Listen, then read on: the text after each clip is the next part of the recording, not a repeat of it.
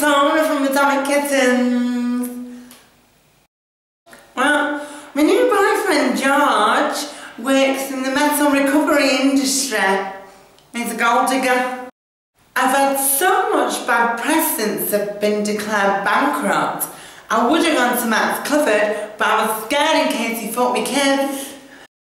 Well, my new boyfriend George has got the body of a Greek god and the brain of a green yogurt.